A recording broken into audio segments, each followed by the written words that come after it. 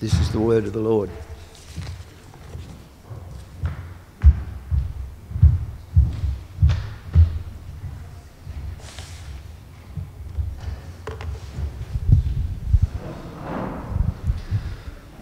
It's a great story, isn't it? After this brief interaction about how to inherit eternal life, uh, two things are identified love for God and love for the neighbour. And presumably, love for God is pretty straightforward temple worship, obeying the law, uh, participating in the festivals. But what about love for neighbour? How good are we at that? The lawyer wants to find out what the parameters are. Who is my neighbour? Great question. Who am I responsible to be kind to? And Jesus tells this little story. Now, the first thing about telling a good story is the people you're telling it to need to understand it. So there needs to be some familiar uh, ca- characteristics to the story so that uh, people can work out what's going on. So Jesus tells a story that has very familiar elements to it. There's a traveller. Well, they knew about travelling. There were robbers. They knew about robbers. There were some holy people, religious people. They knew about them. And there was a Samaritan. He was a bit different to what they were expecting. But Jesus tells a story that has mainly consistent elements in it that they can understand. All these people basically behave in the way that you would expect them to behave. And that, uh, that helps people get a sense of what's going on.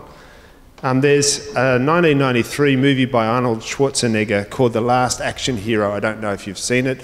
It's a bit of fun. And it's a story of a young guy who loves watching these action movies with Arnold Schwarzenegger playing Jack Slater, who's a, a you know, rough and tough and cop guy and guy. And he's, the new movie's coming out and he goes to the cinema and he gets this special ticket. And the ticket enables him to actually go through into the movie strangely. And in order for that to be convincing for us, we've got to have all the usual kind of normal tropes that you see in these action movies. So there's lots of explosions and crazy car chases and all the things we go, oh yeah, we know what's going on here. This is one of those movies, and you can kind of, and the little boy makes fun of it. He goes, You know what's going to happen next? You know, this guy's going to come in and he's going to say this, and, you know, all that kind of stuff. He knows exactly what's going on. It's familiar. It hel- helps us to get into the story. We get our bearings in the story. It all makes perfect sense for us.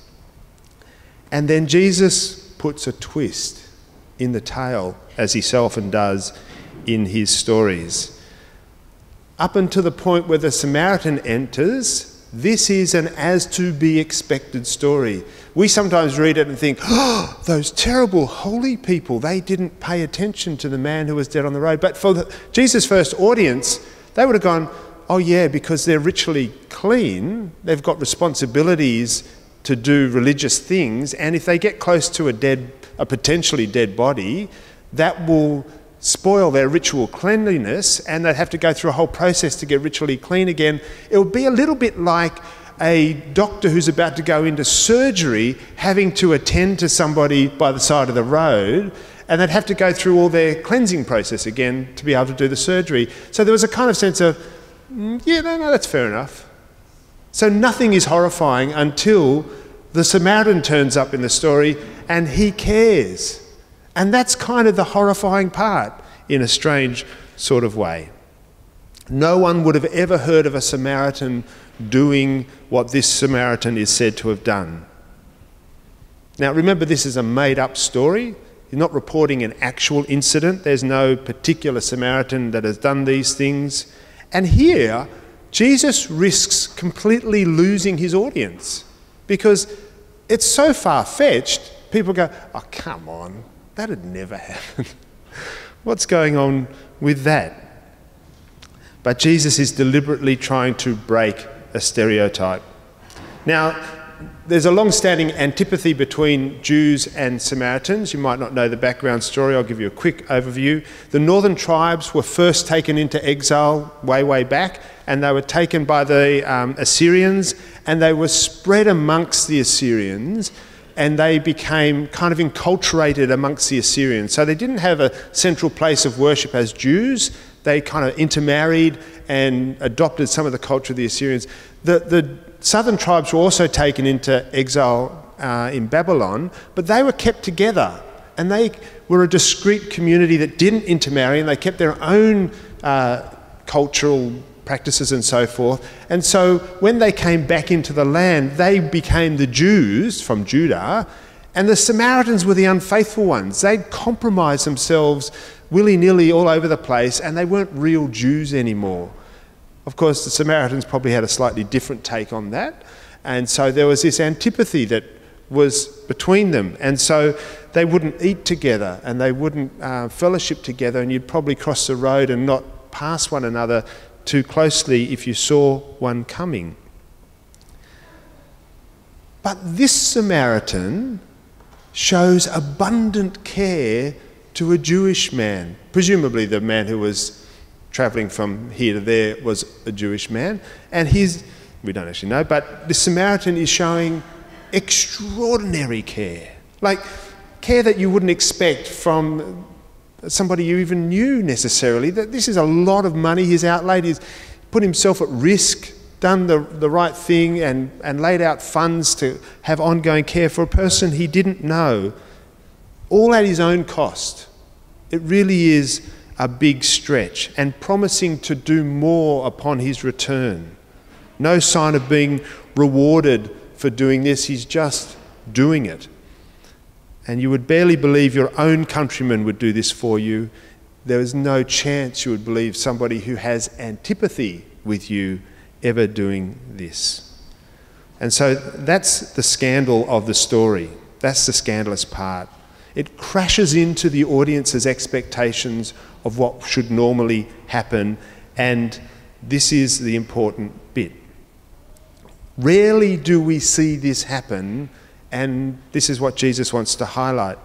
Um, there was a thing in the news, actually, Janet alerted to me to it. She's not here now, but um, a billionaire, Robert F. Smith, over in the States, was invited to do a talk to his old college, uh, the, the class of 2019. And during his uh, talk, he announced that he's going to pay all the college debt of that year's class, which is an incredible, generous offer and sets people free from this burden of debt. And it made me think it kind of messes with our stereotypes of billionaires. I don't know about you, but I sometimes think billionaires must be quite miserly people. They're very interested in their own wealth because that's how you become a billionaire, presumably. if you're generous all the time, maybe you never become a billionaire.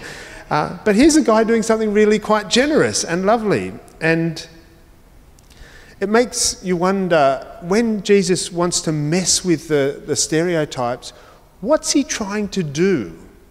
Is he wanting to uh, ingratiate himself with the Samaritans? Is that, is that his strategy here? Is he trying to rub the Jews up the wrong way and go, look, see, there's a Samaritan who's much better than the Jewish people? Is that what he's trying to do here? I think Jesus was really wanting to point his audience to a different way of being in the world, a way beyond the, way, the normal ways of the world. See, the law is a wonderful thing. It helps hold back violence and hold back injustice and hold back people doing nasty things to each other. It's a really good thing. And when God's law came into the realm. It was a, a wonderful thing to kind of help stabilize society and all that kind of thing. But fulfilling God's law or God's way is not about completing a set of tasks or not contravening a set of things. That's not what fulfilling the law really means. Fulfilling the law is more akin to going through a door and entering into a whole new way of being. This new way of being shapes the way that we engage with everyone, regardless of their ethnicity or their religion or any other delineator that you might want to choose. It transforms us so that we engage every person in a new kind of way.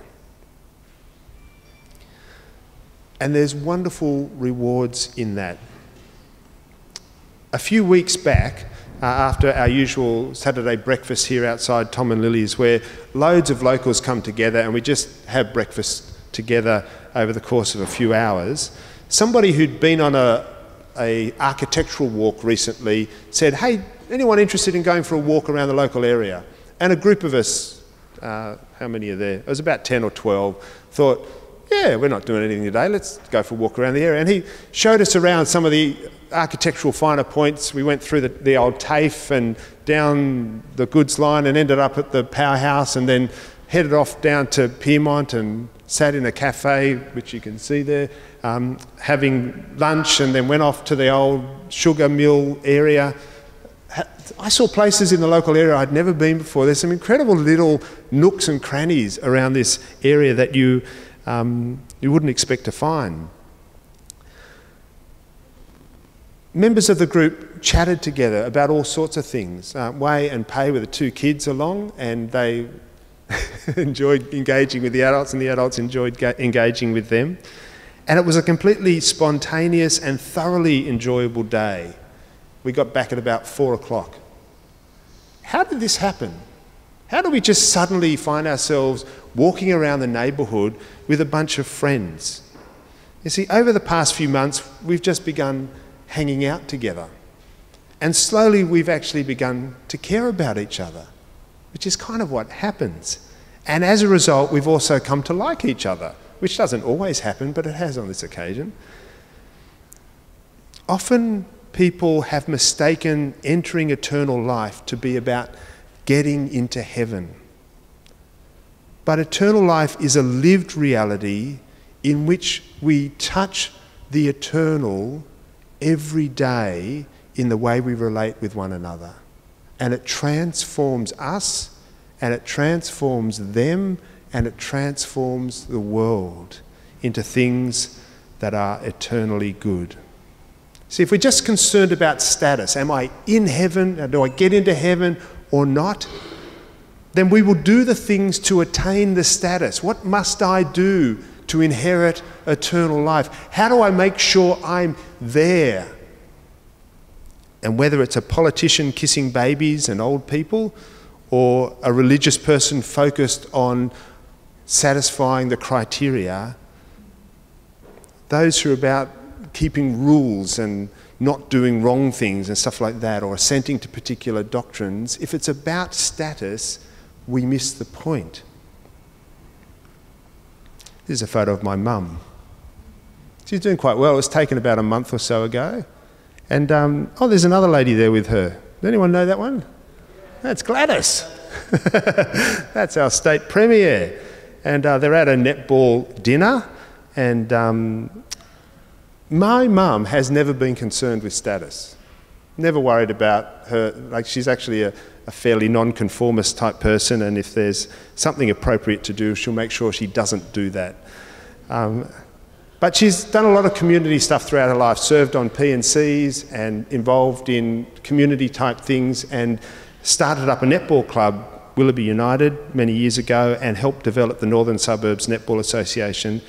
And my mum in a funny kind of way, is one of the richest people I know. Not in dollar terms, but in terms of her network of friends that she cares for and people who care for her. And this photo was taken at a, a recent netball presentation night where Gladys was there to present some awards. And she sought my mum out because mum was the person who first invited her into the world of netball. And so they've become not friends, but they know each other. And uh, I just thought that it's a kind of thing, there's, there's a wealth there that status doesn't actually give you, it's the engagement with people that gives you that wealth. When we hear Jesus tell the story of the Good Samaritan, he is deliberately messing with the assumptions of his audience. And he's doing that with a purpose. Jesus is pointing to a way to be a neighbour, a way to care for one another that turns others from being strangers into neighbours. Who is my neighbour? Whoever you make into your neighbour. This is an unlimited category, which is kind of intimidating at one level, but it turns people from enemies into friends, from strangers into neighbours. How do we fulfill the law and the prophets? By making people into our neighbours, by showing that kind of love. Let's pray.